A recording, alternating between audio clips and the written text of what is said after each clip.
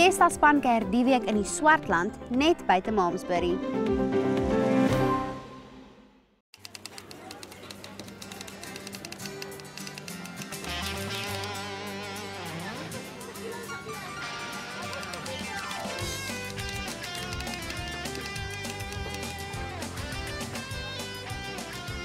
Hallo van my Anso Visser en Fiesta. Ek staan hier voor die hekke van die Morrison plaas gereed vir 'n naweek onder die sterre. Kyk net bied aan die gewilde en beroemde buite expo en ek het kom saamkuier. Ek is hier saam met Pelle, ons het 'n bietjie besluit om die dag hier te kom. Ons kyk bietjie na paar plaas elemente en goeders. Uh, ja, baie cool. Ja, as jy iemand is wat lief is vir gadgets en en kamp gadgets, is dit die plek om te wees. Ons hou van die buitelug expo se uitstalling hier van die trailers en so aan is vir ons baie lekker. Jy's van beginner tot meer advanced wil ek sê. Ehm um, ek bedoel soos die daar's baie tente, ons het tente gekyk en daar's baantjies en en ja, dis dit is 'n baie aangename ervaring. Kom ons steun die Swartland. 1 2 3 julle sê Fiesta! Verlede jaar het 'n verstommende 19000 mense die fees bygewoon en hierdie jaar mik hulle vir 20000 mense. Marius Opperman sal 'n bietjie meer antwoorde hê. Anso ons het in 2011 die konsep begin by Kambati River Resort in Swellendam. Uh tot 2013 toe dit daar gedoen en uh daarvan af het ek besluit om die geleentheid te skuif nader aan die aan Kaapstad self weens die afstand Swellendam toe. En ons is bevoorreg om Morrison Plaas te ontdek van Koos Marie Hofman. En dit is toe vir ons so ontwikkel soos wat dit vandag sien en uh van 'n 7000 packs geleentheid in 2011 is ons nou op uh bykans 20000 'n paar jaar later. Okay, cool. En dan waarna kan die mense uitsien? Ons is uh eerstens is primêr is ons 'n buitelewe expo, 'n leefstyl buitelewe expo wat op die gesin gemik is. So wat jy hier om jou sien is basies alles buitelewe in 4x4 kampeer, uh, uh uitstallers en vervaardigers. En wat ons uniek maak is die manier wat hierdie goed op uitgestal word. So as jy nou besluit jy wil byvoorbeeld 'n Weber braai agter by Tafelberg meubels gaan koop, dan's Faatjie van Tox and Chops daar en hy gebruik die ding. So as jy hom nou hier koop, dan kan jy sê jy het nou fisies gesien hoe maak Faatjie X Y of Z op hierdie ding want hy's mos nou maar meneer Weber in Suid-Afrika en jy het ervaar hoe werk dit. Dieselfde gaan vir die woonwaans wat jy sien, die die uh uh um, trailers wat jy sien. Die mense slaap op hulle terreine, so hulle rig die terrein in soos die, in die werklikheid, in 'n kampeerterrein of in die bos. En dis wat dit so lekker maak. Die die vervaardigers en uitstallers is baie toeganklik vir die publiek en daar's 'n lekker rustige atmosfeer en niemand is bang om iets te gaan vra nie en as jy 'n ding wil koop, dan gaan klim jy sommer op die bed voel hoe lê hy, kom weer terug, eet 'n stukkie wors by die mense, drink 'n lemonadetjie en en ek dink dis wat ons baie baie uniek maak in terme van ons uitstalling. Die ander ding is jy moet onthou ons is in 'n veilige plaas atmosfeer en vandag is dit baie baie belangrik. Mense kom uit die uit die concrete jungle uit om dit so te stel, die stede Uh, hulle wil 'n bietjie wegkom waar dit veilig is. Hier kan jy jou kinders laat rondhardloop. Hier's groot speelparke, hier's lollos vertonings. Ons is in die Kaap en ons almal weet van die waterkrisis. Ja. Hoe presies help julle met die waterkrisis en hoe beïnvloed dit julle die fees? Ons is baie bevoorreg dat ons sit op 'n Roland Lond plaas, 'n Morrison plaas.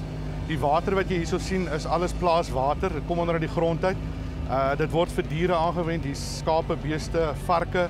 So ons is glad nie aan enige munisipale koneksie is nie so iets wat hier loop nie.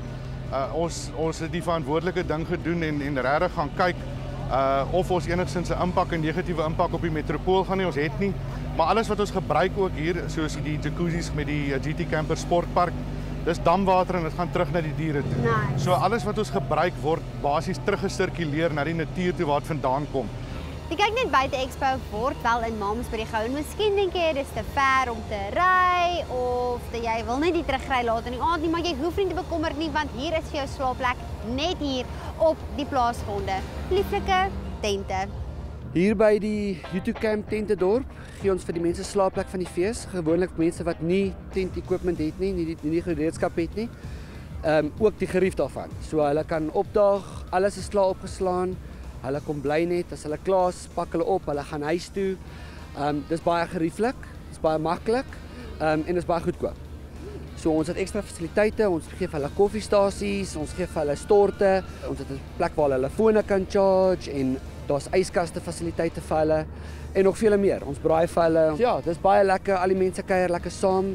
Ons het VIP tente waar Dr. Evan Meyer kom slaap en sy sy mense en dan kan mense ook lekker net die fees geniet sonder enige stres waar daar altyd iemand is by die tente. So ek weet die buite expo is in Malmesbury, maar ek hoor ook nou die hele tyd en sien oral Swartland, Swartland. So ek wat nie baie goed is met geografie nie, weet nie of ek die regte woord gebruik die oomblik nie. Verduidelik dit vir my waar als inpas. Goed. Die Swartland area, um toe ek groot geword het, tradisioneel as jy vir Triek Spinaar kan onthou, het deur die koringlande geloop en dit was in die Swartland. Nou dit was broodmandjie van Suid-Afrika gewees. Koring uh uh produsente.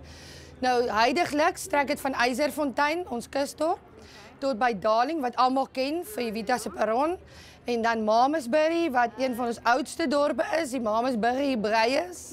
Almal ken hulle. En dan die Riebeek Vallei met die Riebeek Vallei Olyfees wat ons elke jaar het en dan Moreesburg Koringberg waar natuurlik groot koring uh, produsente area is.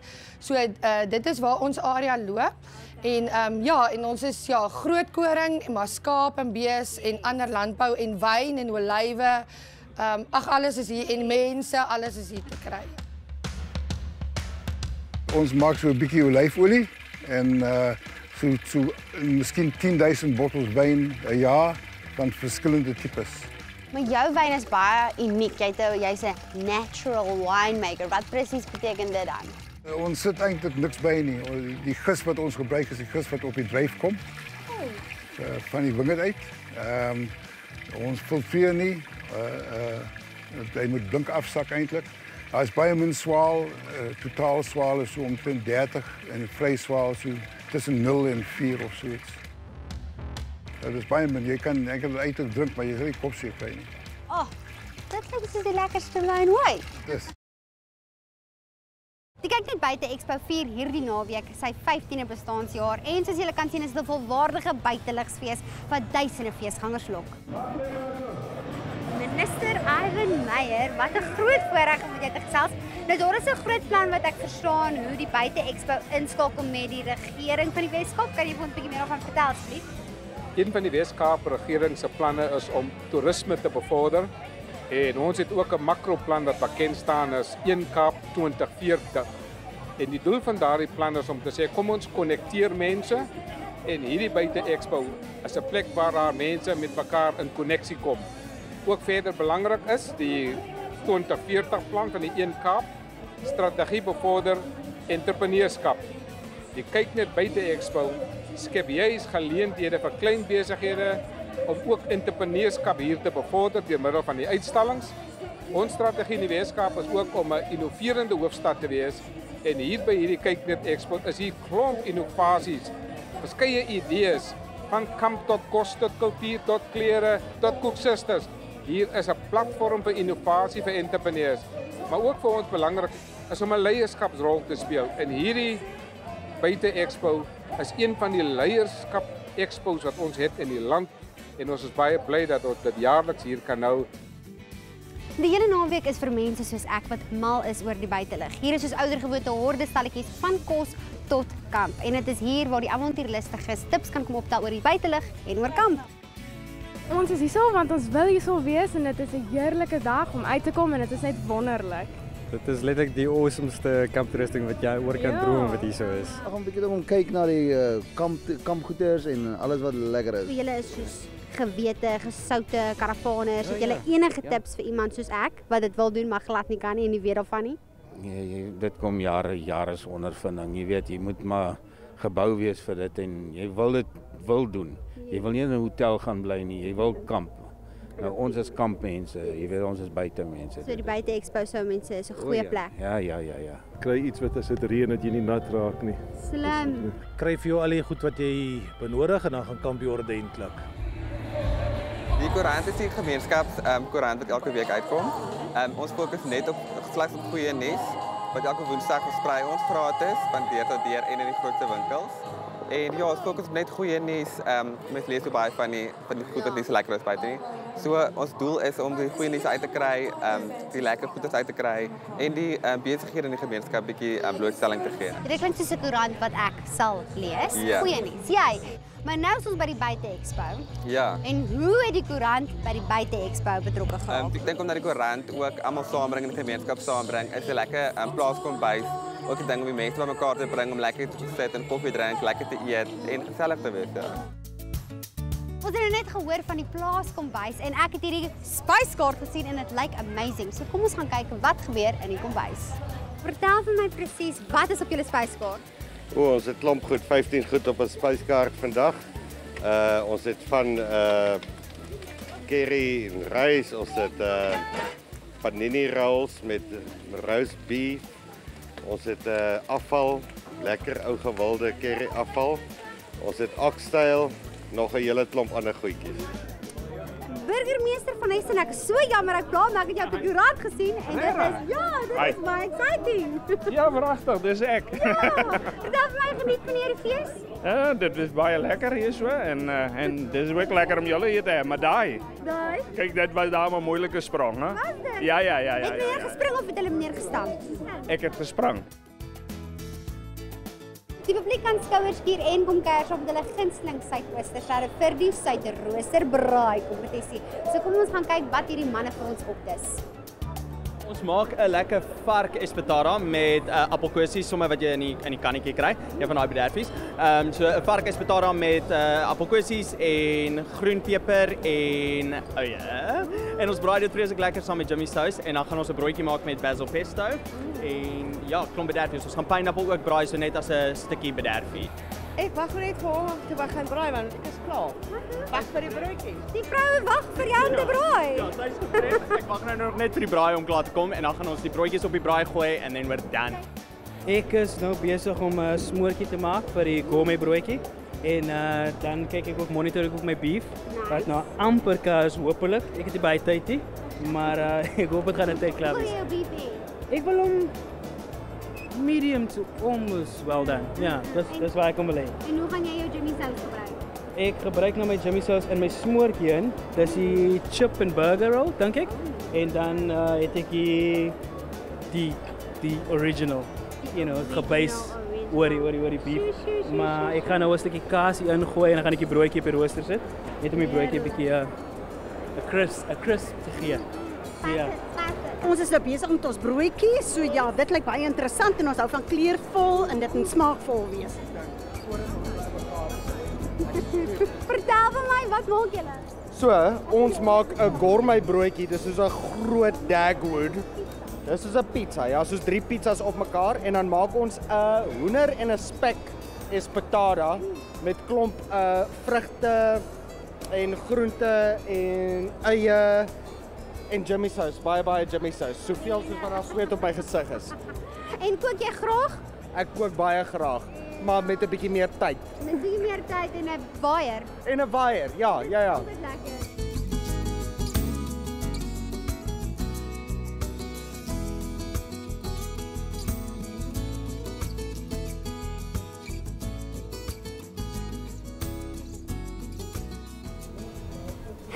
So, ek het besluit ek gaan 'n ander tipe huis soek as die meer onkonvensionele tipe huis en ek het gehoor dat die Buite Expo is die plek om dit te doen. So kom ons gaan soek vir my huis. Jy! Hier is my eiendomsagent. Hallo, wys my my nuwe huis. Hey, baie welkom by ons. Dis ons babappie wat ons hier so het. Ehm um, vier slaper.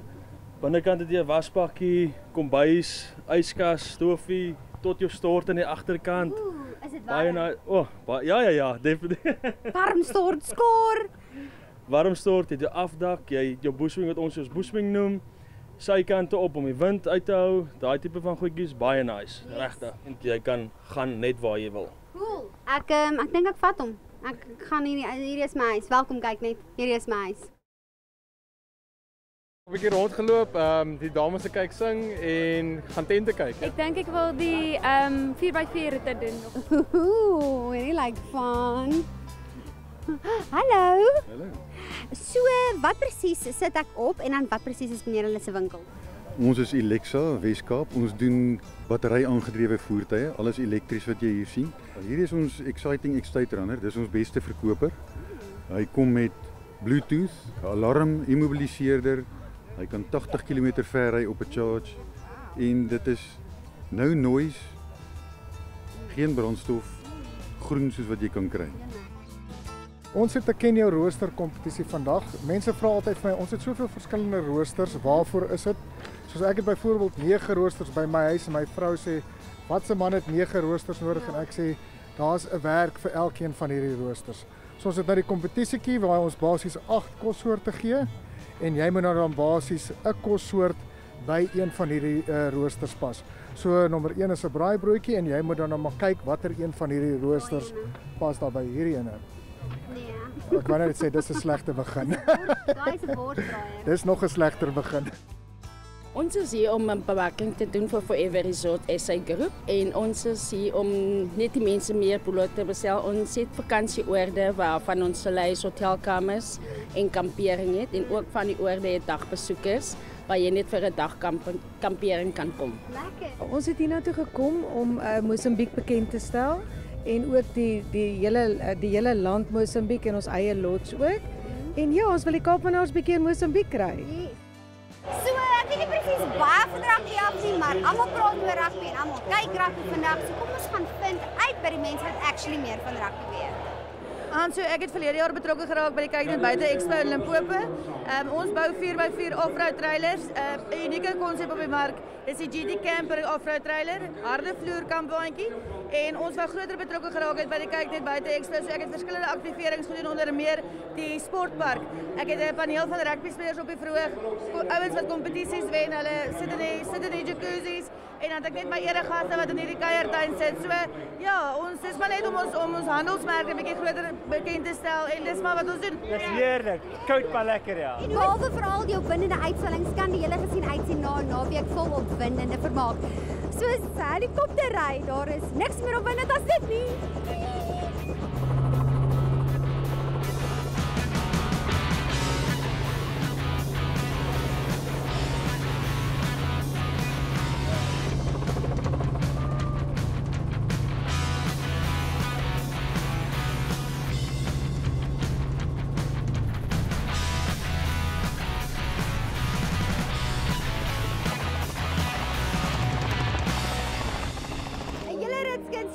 Sorg vir 'n lekker plaaskoffel.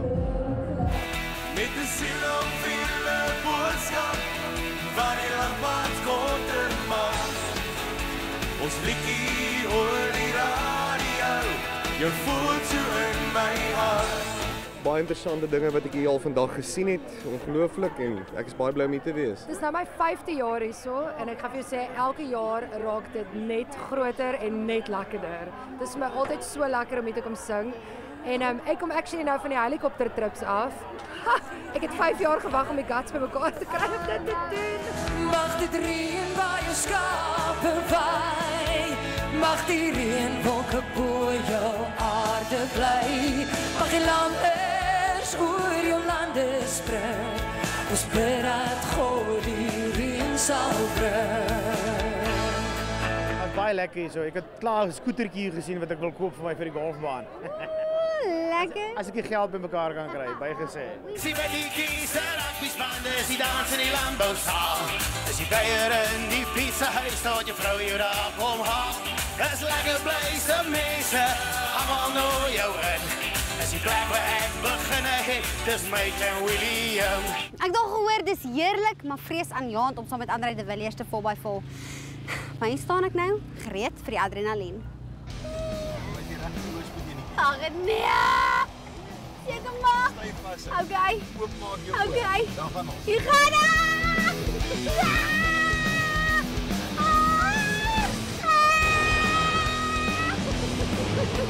Ja! En net kom kyk om um 'n bietjie daktente goed te skoon en so aan, hy wil op die kamp en so aan.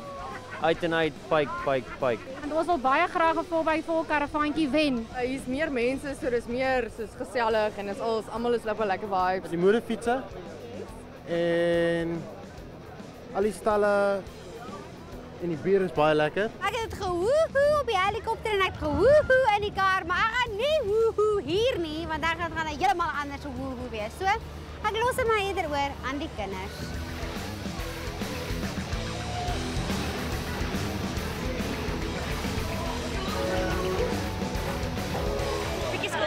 Lekker. Dis awesome, was nog altyd lekker en awesome geselskap, lekker vriende.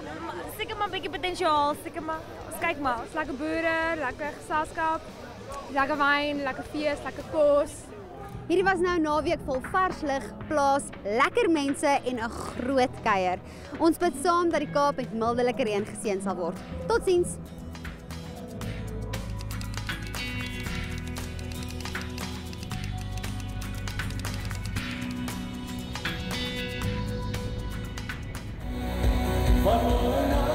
Kyk net en Fiesta steun die teater bystandsfonds, die hele vermaaklikheidsbedryf se enigste hulpfonds. As geregistreerde nuwensgewende organisasie is die TBF totaal afhanklik van donasies om veral hulpbehoevende bejaardes te onderhou. Jou donasie is die applous wat 'n lewe kan red. Besoek ons webwerf by tbfsa.co.za. Die hele naweek is vir mense soos ek. Dit lyk asof ek met myself praat. Maar maar ek doen nie want ons is kamera. Ja, dit is maar net seker maar die ding is om in tune. Boing boing boing boing boing boing boing boing boing. Ai, jou matras en my kombers la le di dum alla la le di dum. La le di dum.